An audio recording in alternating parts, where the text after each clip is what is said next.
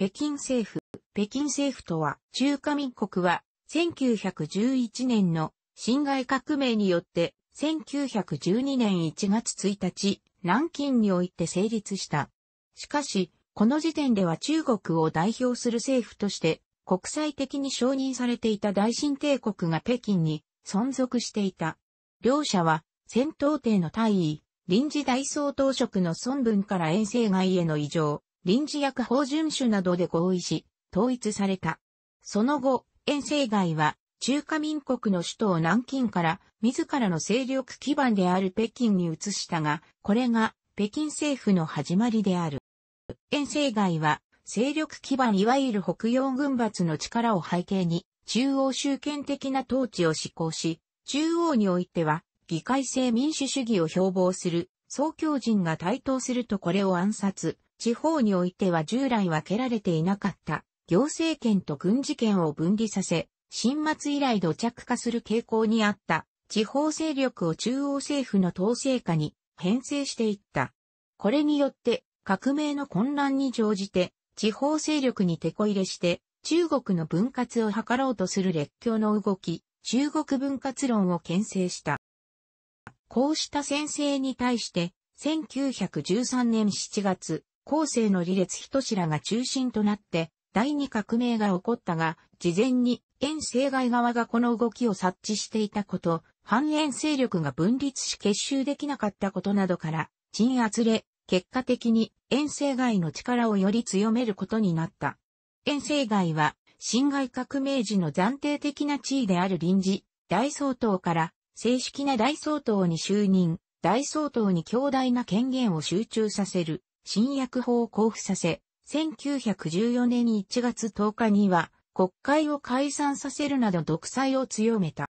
このような集権的統治が可能であった要因の一つに、遠征外が列強諸国の支持を得ていたことが挙げられる。列強諸国は清以来の権益の保障、借款の窓口として中国に安定した政権を必要としいた。この要求に応えつつ、列強諸国の力を利用して、遠征外は統治を行った。このことは中国の繁殖民地化を進めることにつながったともされるが、その手法は後の開発独裁的なものであったともされる。その中で各方面で近代化が推し進められた。法制整備、積極的な産業振興、大総統に軍権を集中させた軍隊の近代化、学校制度の整備による教育の普及などである。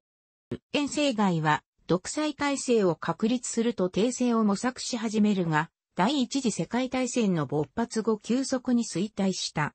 1915年、列強諸国がヨーロッパでの主戦場に釘付けとなった際、アジアでの勢力拡大を図る日本からの対価20、一過剰要求を日本が訂正を支持することと引き換えに受理し、同年12月、訂正復活を宣言したものの国内外の大きな批判にさらされ、雲南の祭唾、東次、行、李烈人氏などによる第三革命、五国戦争が勃発した。中国国内の混乱を見て、日本をはじめとする列強諸国は訂正反対へと態度を変え、さらには北洋軍閥内部からの反発を設け、1916年3月22日に訂正を取り消したものの、遠征外は権威を失墜させたまま同年6月6日、病死した。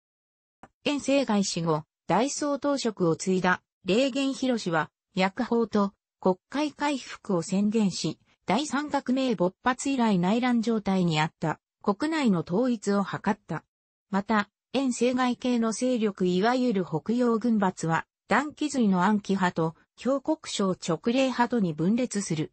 直令派の人物が遠征外地下にあって、主に地方へ派遣されていたのに対し、暗記派は中央に配されており、当初は暗記派が主導権を握った。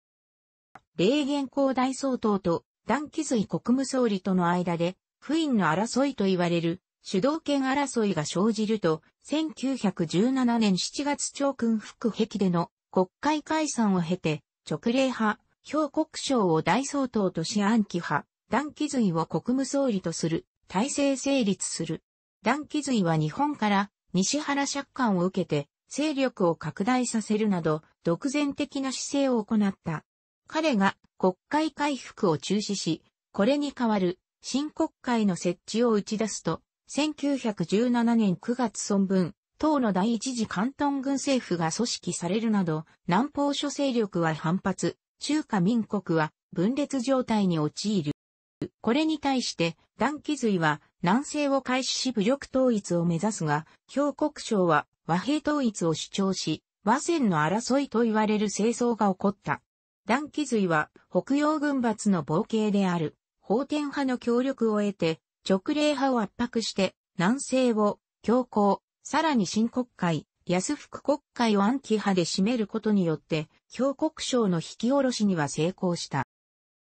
しかし、南西の失敗、新国会で大総統に選出された女性省が和平統一を掲げるなどして、断気髄に同調しなかったこと、法天派と直令派が提携したことによって、断気髄は孤立し、さらに1919年の54運動前後の反日の高まりによって、親日的と目された断気髄は世論の批判にさらされた。また、中央と連携した法天派が満州で吉林派に対して攻勢をかけるさなかに法天派の略とも疑われる日本軍銃撃によって日市、吉林派両軍が衝突する環状死事件が引き起こされた。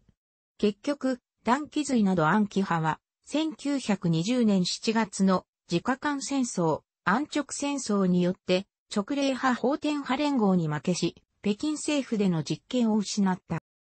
1920年7月の自家間戦争に勝利した直令派、総根、五配布と法天派、張作林による連合政権は暗記派によって設置された新国会、安福国会を解散させたが、これはこの国会で大総統に選出された女性省の正当性を危うくするものであった。そのため、女性省は中国全土での総選挙による国会、新進国会開会を目指したものの、南方勢力の支持を得ることはできず失敗した。直令派と法天派の協力関係は長くは続かず、1922年4月28日、第一次、笹口家戦争が起こり法天派が敗れると、北京政府は直令派によって掌握されることになった。保派、補定派、総根派と楽派、落葉派、五配布派の二派からなる直令派政権は主に保派主導によって政権を運営した。彼らは1917年長君副壁以降を、違法状態であるとし、それ以前の状態に戻す、法統回復つまり、霊源広氏の大総統復職、民禄国会、民国6年に解散した国会の回復を行った。これは、北京政府の正当性を証明しようとするものであったが、加えて楽派は、霊源広氏を区別にすることによって、保派は総根を大総統に選出することによって、おのおの自派の政権を確立しようとした。これによって、1918年新国会、安福国会選出の大総統、女性省は排除され、さらに楽派の支持を受けていた、霊源広も保派の圧力によって、北京を追われた。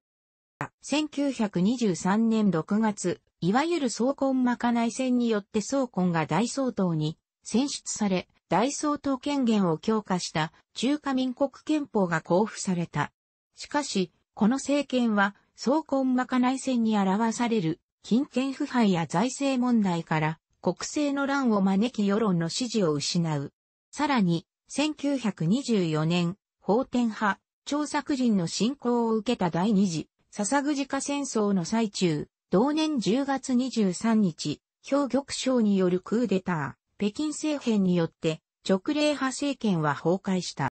兵玉省は直令派に所属していたが、ソ連、国民党とも接近し、第二次、笹口家戦争中に直令派を裏切り、北京政変を起こし、大総統総根を監禁して辞任させ、国会を機能不全に追い込み議会政治を否定し、さらに、進出優待条件を変更して、不義を資金上から退去させるなどしたため、北京政府は混乱に陥った。表は政局を収集するため各派の集合を呼びかけ、法天派、張作林、アンティ派、団気髄と協議する一方、広州の孫文に北上を要請した。だが、氷の振る舞いに不信感を持つ張作林、段木随と氷玉章の対立は根深く、結局1924年11月24日、段木随が中華民国臨時政府臨時失政に就任し、孤立した氷玉章は下野を表明した。この臨時失政とはそれまでの大総統と国務総理を兼ねる位置であった。段木随は自らの政権を革命政府と位置づけ、それまでの国会、薬法、憲法を事実上廃止した。彼は新しい体制を創出することによって政権の正当性を確立しようとした。しかし、中央政界への復帰を図る直令派、五配布の北京侵攻により、1926年4月団、木随は引退を余儀なくされ、その政権は崩壊した。法天派、張作林と直令派、五配布は、表玉章を排除したものの、張作林は、霊言広しを復職させ、薬法用語を、五配布は、団木随が廃止した国会と、中華民国憲法回復をそれぞれ主張し足並みが、揃わず、国政を定めさせることができなかった。さらに、1926年7月、小解析式の国民党軍による北伐によって、地盤である家中を占領された、五配布は同年末には力を失った。北伐による五配布勢力の消滅後の1926年末、北京政府を掌握した法天派、張作林は暗黒軍総司令となり、1927年6月には暗黒軍政府を組織し、中華民国陸海軍大元帥に就いた。この政権は1927年4月12日の小解析による反響の上海クーデターを受け、同年4月28日李大将など共産党員を処刑するなど、小解析の掲げた反響に同調している。しかし、上海クーデターによって一時停滞していた北伐が1928年4月に再開されると、劣勢は明らかとなり、この政権は同年6月3日、張作林の離境によって崩壊、同月15日に北伐軍によって北京は占領され、北京政府は消滅した。この一覧では、臨時職及びそれに該当する職も含む、楽しくご覧になりましたら、購読と良いです。クリックしてください。